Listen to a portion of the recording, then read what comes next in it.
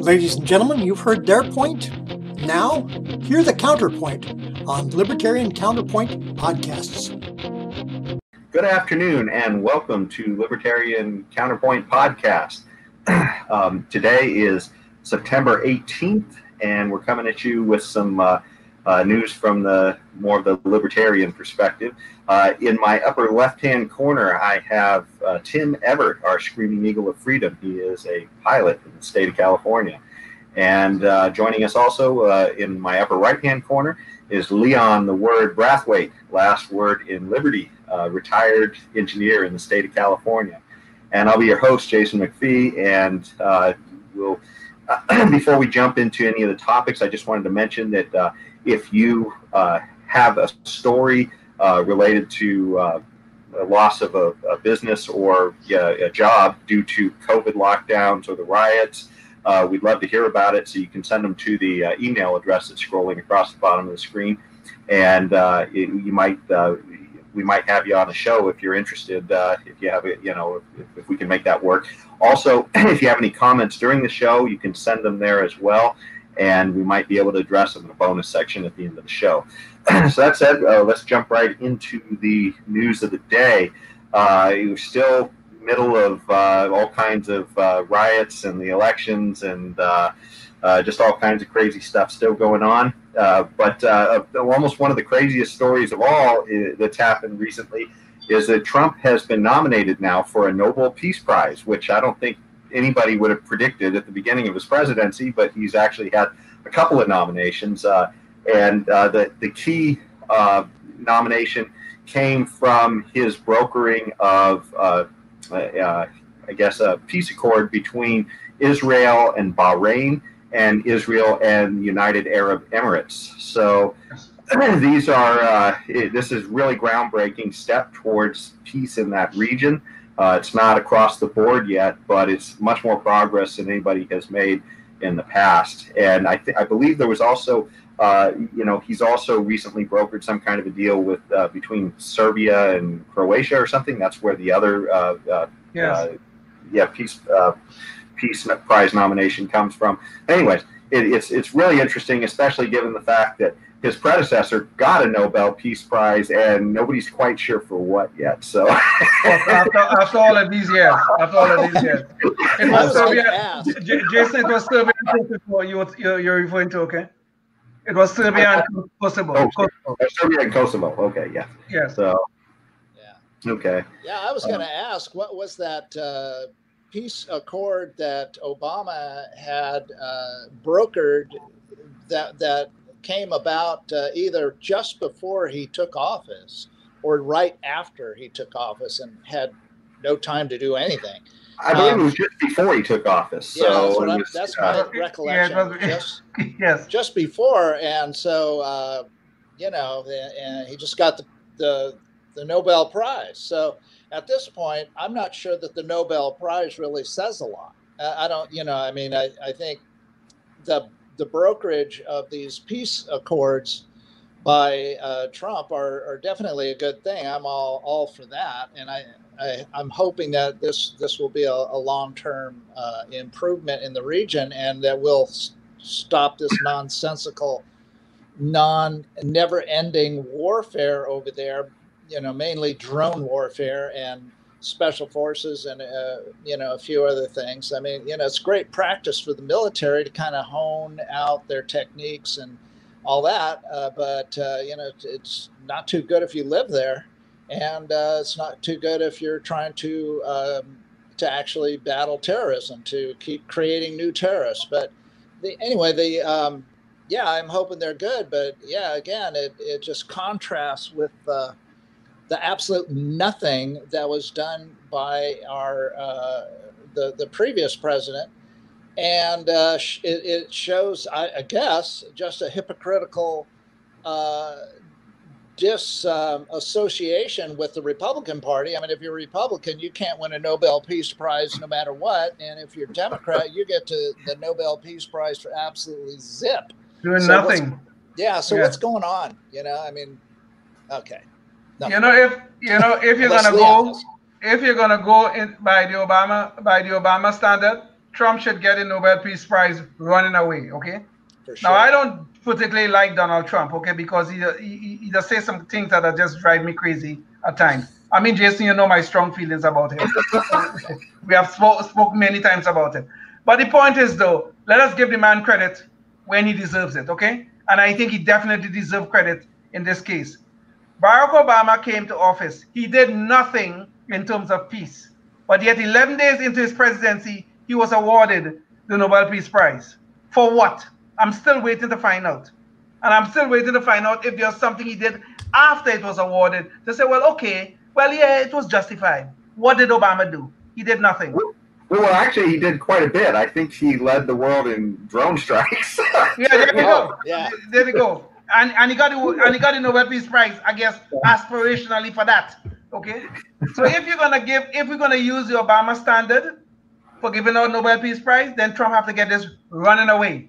Okay, there should be no doubt about it. It should be a unanimous vote about uh, uh, for, for, the, for this particular one, because I still don't know what the previous administration or what Barack Obama did to get the, the, the prize 11 days into his presidency. I would like to know that. Please help me. Well, you, you, know, aside from leading the world in drone strikes, I thought one of the most interesting uh, scenarios was when Rand Paul did a filibuster uh, during the Obama administration to try to get the Obama administration to say that they wouldn't use drones on citizens on American soil. oh yeah, yeah. no American citizens. Yeah. Oh yeah. They literally, they literally wouldn't even say that they wouldn't stop there, and he had to do a filibuster for like a day. Uh, you know, so Rand Paul on the right side of that one in history, but uh, you know, know just, yeah. You, you, know, you know, during the Obama administration, they killed three American citizens in drone strikes. You, you're aware of that, right? Mm-hmm. Three. Imagine that. Yeah. I mean, I know it was done. It was done on um, on foreign soil. I think one was in Yemen, or two was in Yemen, and one someplace else. But the fact of the matter is, they were American citizens, and mm-hmm. Obama authorized the killing. So nobody, nobody raised a stink about that. Nobody. I mean, Leon, think about that for a second. Well, do you know, Leon, was the drone strike that got, uh, um, oh gosh, what was that guy's name uh, or the gal's name, I guess, who who uh, released the footage of the drone strike on the television crew, I guess, and, and wound up getting thrown in jail. I can't remember uh, her name. Uh, Bradley Manning, or uh, oh yes, um, yes, um, he used he, he used to be Bradley Manning. He's now um something some other Manning. He's Chelsea. He, Chelsea, Chelsea Manning. Yeah, Chelsea Manning. He's he's now female. Yes, go ahead. I'm sorry. Okay, yeah. I, I'm wondering if was that was that strike that was released was that also during uh, Obama's administration? I'm, I'm not quite sure, but certainly that that came out I think during during Obama's administration. I think I, am not sure. So, anyways, uh, yeah, I'm digressing. I was trying to think of a prominent drone strike that everybody might have seen on television, but uh, yeah. Jeez, yeah. yes. well, uh, as, as far as these things go, though, one other aspect I wanted to uh, bring up is just the, it's sort of the, the gaslighting, you know, that happens with the uh, the media and the establishment and all these things. I mean, clearly Barack Obama was going into his presidency; he hadn't even achieved his records on drone strikes, and yet he was being given this award. And I believe they said that the award was he was nominated at was just in the hopes that he would do great things. So you know, it's yeah. kind of you're running a race and you say, well, we're going to hand this award to you because we're pretty sure you're going to finish first. so, actually, somebody said it was aspirational, you know, aspirational, you know. Obama the saint just came about and he's going to change the world and lead us to utopia. Yeah. Well, uh, uh, if they can hand it out, can they take it back? Is there, I mean, is that, I don't know. Is that an option? well, you know, that, that, that, have never happened, but at one time Hitler was nominated for a Nobel Peace Prize. That probably would have been taken back if, if it was actually awarded. well, speaking of things that should be taken back, and uh, think our, our freedom is getting to the point where we need to start thinking of taking that back from these lockdowns that we've been involved in with COVID. And the, there's a really interesting experiment that's playing out, and that's on the NFL gridiron. The uh, NFL kicked off this last week. Uh, and they had a few stadiums where they actually had some fans in them, but most of the fans were empty. But you still have this situation of literally teams of 50 plus guys huddling and tackling each other for over two hours straight. And, you know, you can't think of a sport that's less social distance than football. So you have of all of these fans sitting here watching these games that are on television. And the ratings are down this year, to be fair. But, but even that said, it's still fairly a draw of people watching while they're being told they can't go to work, and yet you're watching these millionaires tackle each other out on a football field. each other, you know. yeah. Well, it's so essential. I mean, what would we do without them? Uh, you know, our whole fabric of society depends on these uh, these uh, big guys uh, jumping on each other and you know, pushing each other around. And, yeah. uh, you know, what would we do without them? I mean, they're so essential. I can't think of any other Activity. job and more essential or as essential as, as the football uh, NFL. But, but, this, but this, this is the ridiculousness of the government deciding what is essential and what is not essential. Okay. There's this little saloon down the street. They can't open. All right the hair salon or nail thing, they can't open because I Governor Newsom get, says, well, you know. I can't get a haircut. Yeah, they cannot get a haircut. Okay. Yeah. And, and maybe I need one myself. Okay. And I'm not even. That?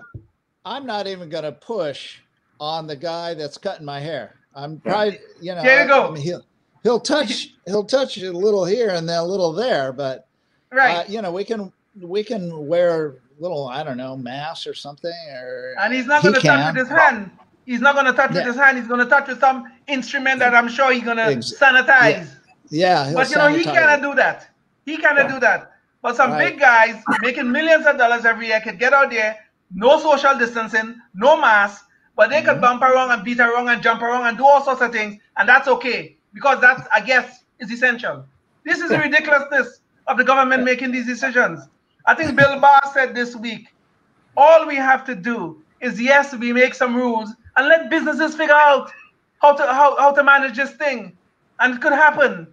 Yeah. Yeah. Other businesses have done it. Costco, Home Depot, Target, all of them, Walmart, have figured out how to manage this thing, but nobody else could. It's only those that the government have decided are essential. They could figure out how to manage it. This is ridiculous. Yeah. Well, well, you know, one of the funniest things of all, I, I, uh, Gavin Newsom was interviewed this uh, week uh, on college football reopening in some places, and you know, one of the kings of the lockdown here in California, you know, he's been pretty free about locking things down and, and such, and and, uh, and yet he's saying that, uh, you know, at least in the interview I was hearing, he was saying that this college football, you know, can be done safely. You know, you know, you're talking to once again, you know, all these guys tackling each other. Safely. it's hard to believe, you know, you're talking about something that's spread airborne, you know, uh, but yet, you know, it's, it's, something that can be done safely. So I don't know. You know uh, yeah, but, yeah. but yeah, but they got to close the beach for the surfers. The surfers yeah. can't surf safely. Yeah, they, yeah, yeah. They might uh, get too close. They might they might float too close to one another and give yeah. each other COVID. So we got to protect them from themselves there. Yeah. And they could and they could encourage and they could encourage a mostly peaceful protest. You know, we could encourage yeah. that. Oh, but businesses, too, yeah. but businesses cannot open. Right.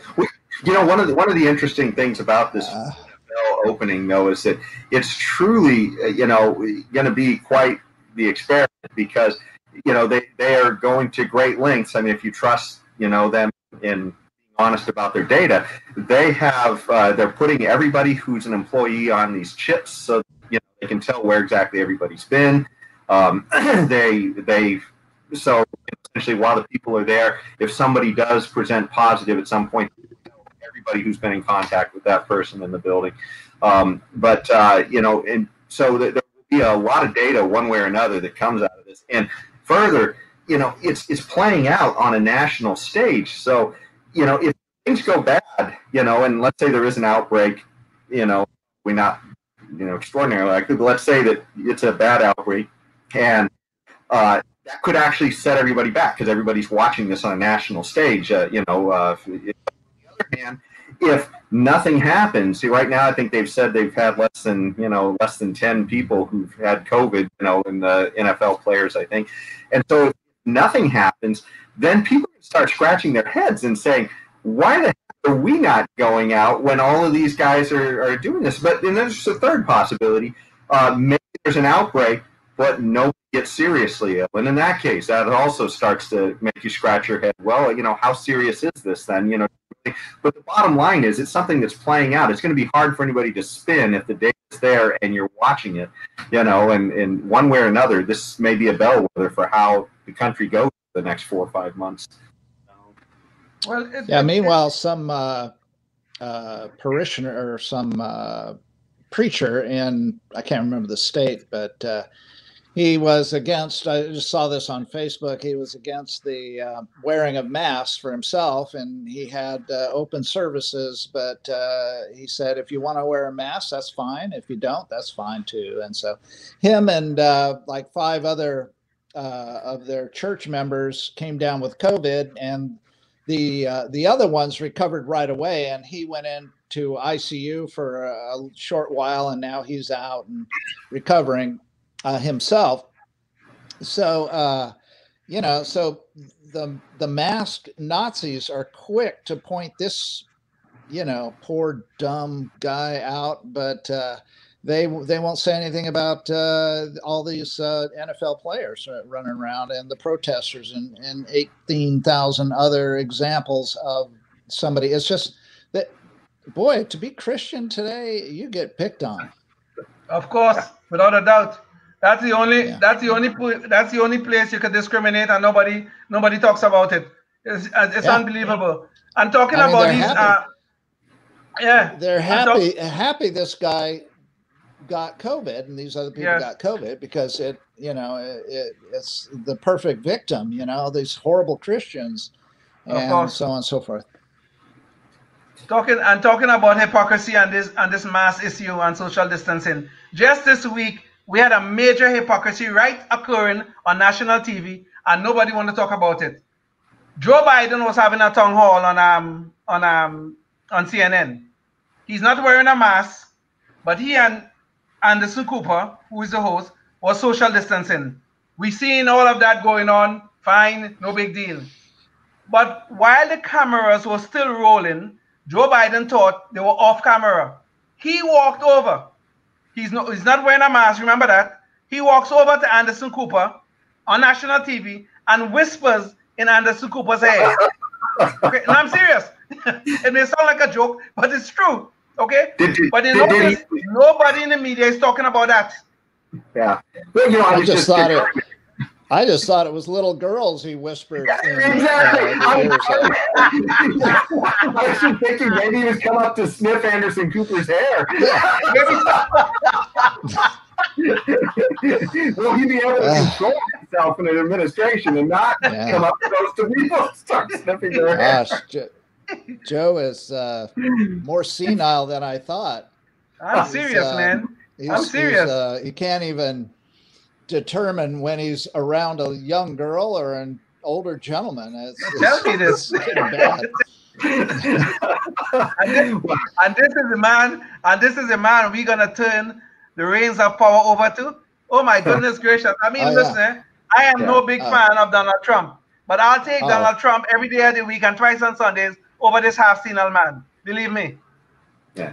Well, speaking of uh, of uh, trying to get out from under the uh, you know lockdown stuff as well, and what's essential, you know, the schools are back, uh, you know, into their fall uh, semesters right now, but uh, many of them are doing this essentially through Zoom, I guess. You know, I mean, they're doing it through distance learning, and so this is something that's near and dear to me because I have a couple of kids in school right now well. But um, it, it's one of those things where we're in this giant experiment right now, um, and we're seeing that uh, you know not only uh, is this not a very tried and true method that we're in. This is just something that's sort of thrown together, uh, you know, I, essentially ad hoc.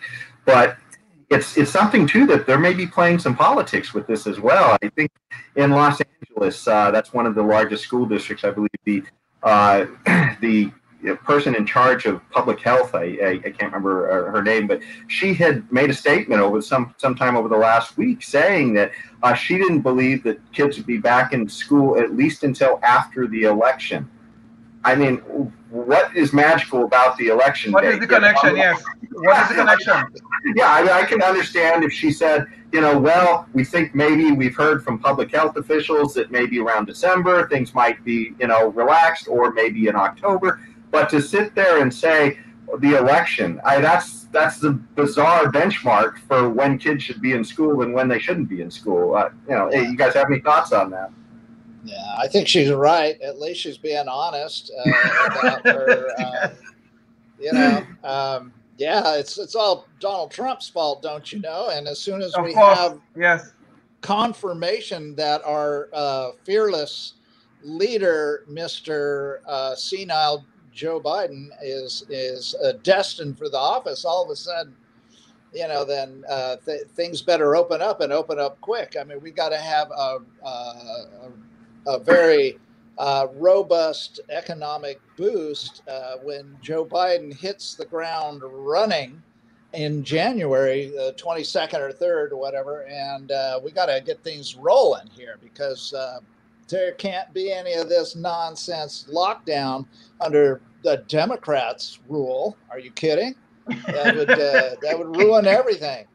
Uh, gee willikers. So yeah, I think she's got a very valid point there. And, uh, you know, all of a sudden, the data that they have been uh, putting under the rug for all this time, the positive data about, about, you know, the severity of, of the pandemic and, and the efficacy of the lockdowns.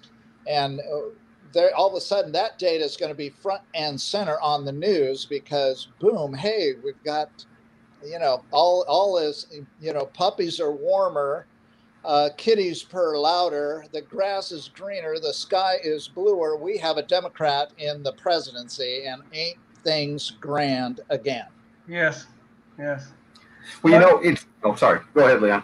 No, go ahead. Finish your thought. Go ahead. Finish your thought. I'm sorry. Well, I, I, just wanted to mention too that it's not just uh, you know the, the, politics gets a little thicker. The uh, Los Angeles uh, Teachers Union had also said that they were going to uh, that, that they were literally going to push from going back into the classes until they had some of their demands met. And some of these demands had to do with defunding the police. Defunding the police, yes. I, I, can't even imagine how that's connected to our kids' education. That was one of them. And then they uh, also were pushing for uh, health care for all, which uh, again, it's not really a subject that's connected to our our uh, education. So you know, just uh, absolutely is beyond the pale. You know uh, how this this stuff is how our kids educated. I mean, you talk about a group that is you know being disproportionately impacted by this uh, you know by this COVID, and it's the children who are literally having their lives massively disrupted, and they're the least at risk in in this whole thing. Yes. And yet, yeah. you know, uh, it, you know, their educations, their milestones, all that stuff is just you know the, the trajectories of their lives,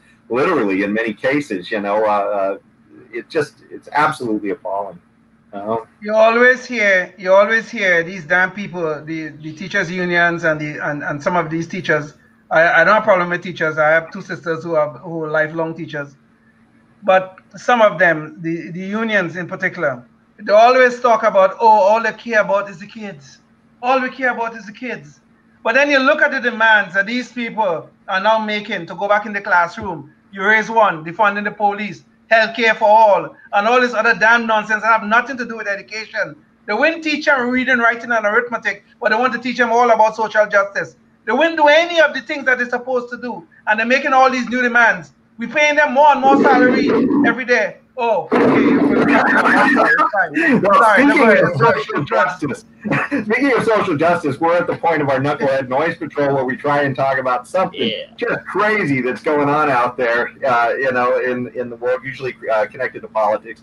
And uh, this time, it's it's actually the Oscars that have come forward. It's Oscar himself, uh, you know, for the the movie uh, industry has come forward and uh, said something absolutely outlandish. I mean, we all kind of knew that uh, social justice was part of how they decided, you know, who was uh, which movie was best, right? You know, I mean, that's that's what the Oscars are supposed to say is which one is the best picture, who was the best actor, you know. But uh, you know, well, they've made it official now that you know the, some of these social justice goals are part of their uh, criteria, and so essentially they have said that they're now uh, in 2024 um, at least. Uh, apparently, there's there's at least two check boxes that have to be checked off for diversity, and it has to do with uh, either the one of the lead actors has to be part of a group that includes, uh, you know, basically what you would expect. It's either has to be Asian, Hispanic, or Latinx. I'm not quite sure what that means, a new term, I guess, but but I, I think that's that's what we used to call Latino, I guess. Uh, and then uh, Black or African American, Indigenous, Native American, Middle Eastern, North African, Native Hawaiian, Pacific uh, Islander, or other uh, underrepresented race or ethnicity. And so they have all of these essentially uh, tied into not just the actor and the cast, but also the production crew, uh, you know, the marketing, all of these different, you know, the artistic direction, all of these different things. You have to check off so many boxes, or you can't be nominated for an Oscar. So, you know, just you guys have any thoughts on that? This is the crazy. Leon, you have Leon has a future. Leon has a future in acting.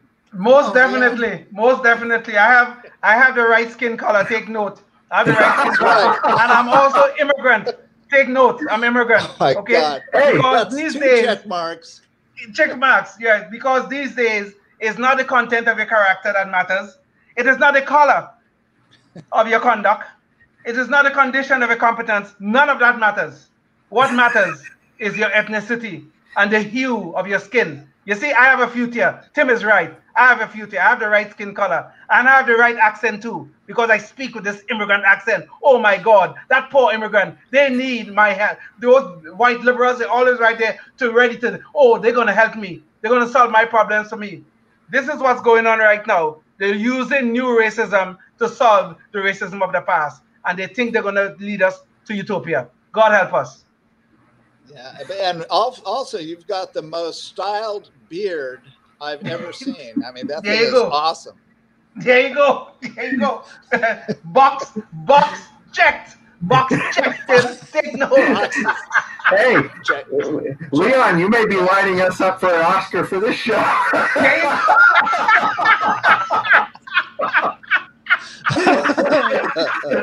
I'm just glad to see that we are in line with the new Oscar standards already. So. There you go. Yeah. There you go. you have to be told to do it. notice, notice one third, one third of this show is non-white. So hey, I'm sure, I'm sure we passed the standard. You're already well, one third, one third is also immigrant. Take note. well, let me let me wrap it up real quick because we're uh, running over time. But uh, so you have to have the last word again, Leon. Uh, thanks again for joining us. If you want to catch more of our shows, you catch us at Libertarian Counterpoint, uh, public access on Sacramento Channel 17, or uh, libertariancounterpoint.com or, or Libertarian Fa- yeah, Counterpoint Facebook page as well if you want to see some of our past shows.